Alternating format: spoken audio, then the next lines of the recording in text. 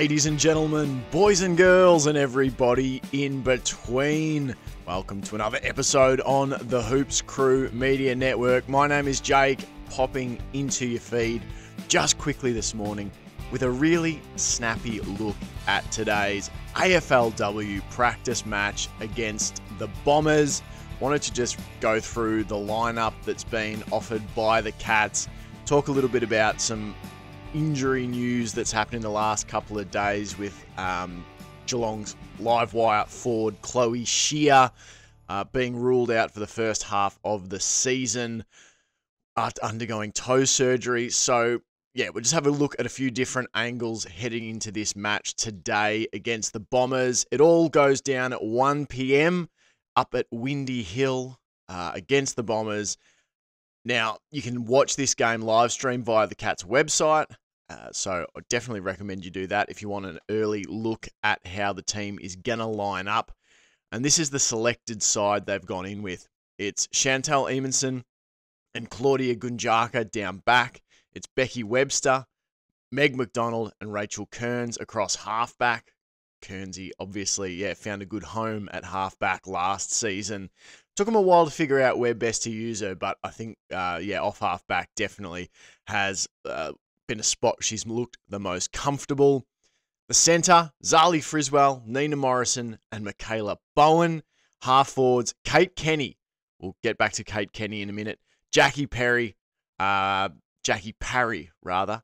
Kate Surman, and up forward in the full forward line, you've got Aishling Moloney and Kate Darby. The ruck, Lily Pearce, newly signed player Lily Pearce this off-season, uh, as well as Amy McDonald and Julia Crockett Grills. The interchange, uh, Georgie Rankin, Abby McDonald, Gabby Featherston, Brooke Plummer, Anna Rose Kennedy, uh, Bridie O'Rourke, Chantel Mason, Caitlin Thorne, and the emergencies are Bella Smith and Georgie Prespakis. Now, let's start with the big news of the week. That, of course, being the injury to Chloe Scheer ruled out for the first half of the season with that toe surgery. Uh, really, obviously, an unfortunate start to Geelong's campaign. Sort of comes off the back of a tricky off season for the Cats uh, in a couple of departments, specifically uh, the ruck, where they had um, both Erin Hoare and Olivia Fuller, who were their two sort of primary rucks last season, uh, retire. Erin Hoare retired. Um, Olivia Fuller moved off to uh, moved on to the inactive list to pursue other um, career opportunities. I believe in Air Force firefighting or something like that. Uh, so the Cats they've brought in Lily Pearce to address that ruck issue. So I'm going to be fascinated to watch how Lily Pearce goes about it. Um, Geelong obviously have one of the best midfields in the competition, um, with Nina Morrison, Georgie Prespakis, Amy McDonald all being able to line up around the stoppage. And that's just sort of the frontline starters. You've got others who can play in there as well, and certainly have. So getting them uh, good ruck service is imperative to Geelong winning uh, games of footy this season. And they'll want to win a fair few of them after falling short of a grand final last year by just one game.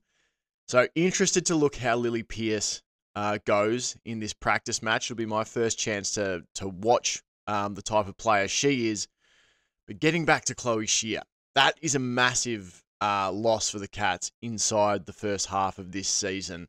Um, we saw last year, I think it was, where the Cats sort of, I can't remember if we banked early wins. I feel like that's how it went. We banked early wins, had a bit of a drop off in the middle of the year, came good at the end to make finals. That was either last year or the year before. Um, point being, uh, getting some early wins in the AFLW is absolutely crucial um, because it means you can probably survive a little bit of a dip in form. It's it's very hard uh, to make finals in the AFLW after a slow start to your season, just given the nature of the shorter length of the competition, just 12 home and away games. So, how the Cats going to try and address the Chloe Scheer absence? Um, I think you've already got Fords down there. Jackie Parry was probably the most improved player on the Cats last season. Uh, she was always, you know, a decent player uh, in her first, you know, few games at the Cats, but last season she really just transformed into an incredible sort of leading marking link player for the Cats. She tr- began to sort of trust herself more I think just going for goal on instinct, and she certainly kicked more goals. I believe it was a career high goal kicking year for Jackie Parry. So she is certainly a player who could step up and fill some of that um, breach, but she was already in the lineup. Uh, so, you know, she is she was already there, and you've now taken something in Chloe Scheer, uh, who was a massive presence away. So Jackie Parry can help fill some of that. Aishling Moloney, uh, an Irish recruit from last season from County Tipperary, had an absolutely stellar breakout campaign. I think she can bring some of that sort of creativity uh, and threat, not just inside the Ford 50, but further up the ground that Chloe Scheer can. She's a really difficult matchup uh, for any defender in the AFLW. Not only is she, you know, exceedingly tall, she's also highly athletic. Um, yeah, able to twist, turn, navigate through traffic, throw off an opponent. She, uh, if she builds on what she did uh, last season in her rookie year, I think you could absolutely see her getting into an All Australian team this year in just her second year. Aishling Moloney, she's got that capacity. Um, if she was a little more accurate in front of goal last year, she, yeah, she would have had an insane amount of scores. Um, she tries, you know, shots from places I don't think it, other players would even imagine uh, going for goal. She's just that exciting. So I think she helps. You know, if you didn't have Ashley Maloney, then the loss of Chloe Scheer would be even more so. But the player I'm interested to watch today is a player that's playing in their rookie campaign, also an Irish woman, and that is Kate Kenny, uh, recruited by the Cats from County Offaly. And this would be just her second game with a footy in hand. She played the match sim last weekend. Um, saw a few sort of tweets and accounts saying that you know was you know still learning the game. But I've watched Kate Kenny play a bit of sort of ladies Gaelic football, and she is a potential superstar, another potential Irish superstar for the Cats up forward. Honestly, uh, she is creative. She's combative. She's uh, you know really aggressive in terms of her instincts. You know for shooting for goal uh, from a variety of different ranges. She's got that sort of poacher's instinct, uh, inside attack, and also I think the vision uh, and creativity to bring her teammates into the game. So Jackie Parry and Aishling Moloney were both in that forward line last year with Chloe Scheer. What we're looking for, I suppose, is someone else, that third party, to come in now and help fill that Chloe Scheer role. I'm fascinated to, to watch Kate Kenny today because, you know, you look at her playing Gaelic football and you know, you would go, that's almost like a like for like. You know, you bring a dangerous Gaelic football forward in to re- replace a really dangerous mm. uh, AFL W Ford, It's like for like, but there's that adjustment period, and it can take players, um, you know, a varying amount of time to get used to the new game. Um, you know, Aishling Moloney developed really quickly in, in her rookie season. She looked supremely uh, confident and comfortable in the new sport. You go to a player like Rachel Kearns, who easily had sort of the requisite physicality, super physical player, uh, a very willing tackler.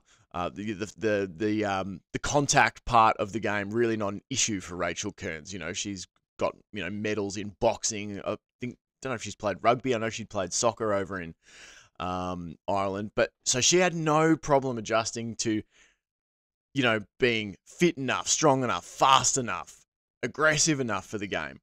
But it was sort of the the finesse parts of the sport that I think Rachel Kearns just took that little bit longer to develop. She really found a home down on half back last season, and and I think they found the perfect spot to use her skill set. So I'm I'm interested to see with Kate Kenny. Does she fit into that Aishling Moloney as we get a cat make an appearance? It's it's it's as it should be. Um, you know, does she have that Aishling Moloney fast track development where she just looks at home in year one? Or does she take a little bit longer, like a player like Rachel Kearns? Maybe she doesn't fit immediately where we think she will, and it'll take a little while to move her around and find that spot. But if she does warm to the sport quickly, we could have an absolute uh, pair of Irish superstars on our hands up forward. So, going to be watching uh, Kate Kenny really closely in this practice match. Um, likewise, Anna Rose Kennedy, another Irish woman who we didn't get to see last year, uh, except for one game. She came in for the prelim. I believe that was her debut. That's a rough spot to come in for your first game of competitive footy. So, interested to see how she develops in year two. And obviously, also be keeping an eye on players like Bridie O'Rourke, who'll be, you know, making her AFLW debut for the Cats this season. Caitlin Thorne, who comes over from Box Hill, by all reports uh, from some of the people we trust over at Box Hill, uh, an absolute star, an absolute gun, a brilliant get for the Cats. Interested to see how she goes. And Chantel Mason, I watched her play VFLW for the Cats this year. She's a player that if Kate Kenny can't fill that Chloe Scheer void in the first half of the season, Chantel Mason may well be able to. She has one of the best set of marking hands I've seen uh, in all of women's footy. Honestly, she just clunks everything that comes her way. She has a great work rate up around the ground. Also, super deadly inside forward 50 yeah, she she was a cut above VFLW level really. When when the Cats, you know, the Cats VFLW, if you W, if you watch them this season, they struggled a bit with the midfield. They had a lot of outs uh, this year through injury and also just losing star players from last season.